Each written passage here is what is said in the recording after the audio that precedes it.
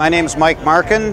Uh, my wife and I built this car. This is a 1938 Graham Model 97. Uh, used to be nicknamed a Shark Nose Graham. When we started with the car, uh, it was originally a four-door sedan.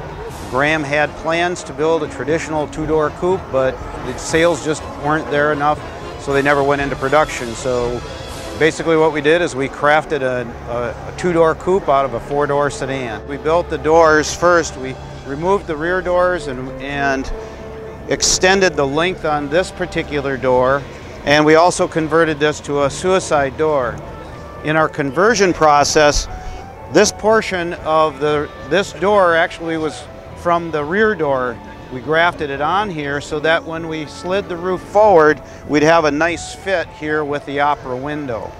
In order to do that, we took 26 inches out of this roof and then brought it forward to fit. All of the trim on the car was custom made for the car. I would tell you that absolutely everything on this car has either been modified, remade, or created for the car except two pieces, and that's two pieces of glass that are found in the headlights. We also made some changes to the fenders. We added a scallop back here to give it more of a sense of motion. And we did the same thing to the rear tires as well. Actually back here it was kind of a boxy rear end because we had uh, uh, fender skirts on the car, but we wanted that uniformity and that sense of, of motion to the car.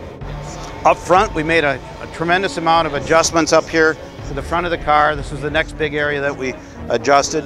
The Shark Nose Graham originally had grill bars that ran down the length of the of the hood and we eliminated those and we also pancaked the hood made it shorter or didn't sit as tall uh, by about one and three quarters inches in the front here this bezel uh, we custom made this bezel originally Graham had six pieces on their bezel and their bezel actually did one of the pieces scalloped way back here maybe about an inch further but uh, I wanted one piece and we added this crown to it to give it sort of a unique look.